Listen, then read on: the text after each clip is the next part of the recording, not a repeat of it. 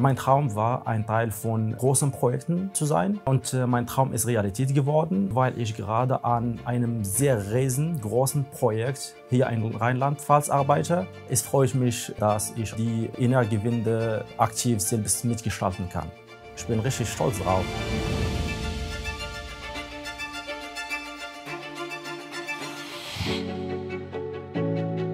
Die aktuelle Bundesregierung hat Ziele vorgegeben, bis 2030 80 Prozent des Strombedarfs aus Erneuerbaren abzudecken und bis 2045 klimaneutral zu sein. Das heißt aber im Umkehrschluss, dass wir in ganz, ganz vielen Bereichen eine Transformation erleben, wie sie es lange Zeit nicht mehr gegeben hat. Wenn wir ehrlich sind, brauchen wir einen wesentlich stärkeren Zubau als der, der heute stattfindet und in Zukunft stattfinden wird. Und dann sprechen wir von einer Vervier- oder Verfünffachung der Montage- und Baukapazitäten. Um die Frage zu beantworten, schaffen wir es mit deutschen Fachkräften allein? Nein, werden wir nicht schaffen, weil der Nachwuchs zu gering ist.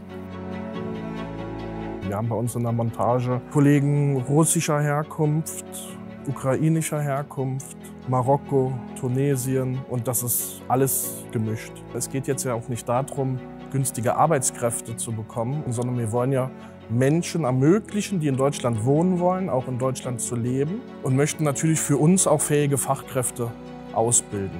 Das heißt, wir suchen wirklich langfristig die Mitarbeiter, die auch wirklich das Ziel verfolgen, ihren Lebensmittelpunkt nach Deutschland zu verlegen. Ich plane Photovoltaikanlagen in Freiflächen. Ich kümmere mich in der äh, Projektplanung um jeden einzelnen Schritt, äh, von der Vorplanung über die elektrische Planung bis zur äh, Erstellung der Materialstückliste. Aktuell arbeite ich an äh, dem Projekt Kind 3.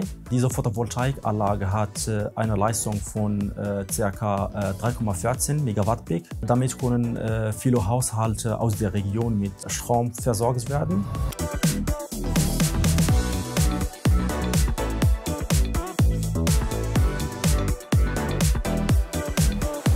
Ich habe mein äh, Abitur mit dem Schwerpunkt äh, Physikwissenschaften in Marokko gemacht und danach äh, habe ich mein Studium der Elektrotechnik an der Technischen Hochschule Köln mit der Vertiefungsrichtung elektrische Energietechnik erfolgreich abgeschlossen. Und ja, und jetzt bin ich hier. Ein ganz großer Punkt, gerade für den Anfang, ist Unterstützung bei der Wohnungssuche. Dafür haben wir ein Haus angemietet, wo wir quasi vier möblierte Wohnungen zur Verfügung stellen, bis man in der Lage ist, sich in das Team integriert hat, die Arbeiten eigenständig machen kann, um dann auch eigenständig natürlich noch mit Unterstützung, aber als selbstständig auf eine Wohnungssuche zu gehen. Das sind viele Sachen, die von der Firma vielleicht auch organisiert werden. Das Beispiel war jetzt ein Bowlingabend zusammen zu machen. Ist aber auch wichtig, dass das Unternehmen viele Veranstaltungen auch unterstützt, die von den Mitarbeitern vielleicht selber geplant werden. Es gab einen Sushi-Abend, wo da selber Sushi gemacht wurde, weil dadurch einfach der Zusammenhalt und die Zusammenarbeit wesentlich gefördert wird.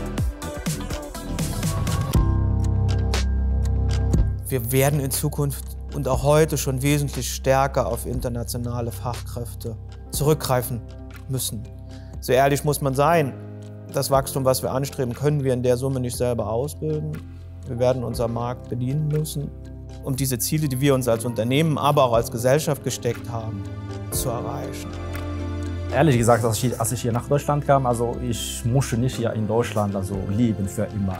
Aber ich habe meine Meinung also geändert. Ich habe so viele Freunde, ich habe äh, meine Arbeit hier, also äh, mein Leben ist hier in, äh, in Deutschland. Ja.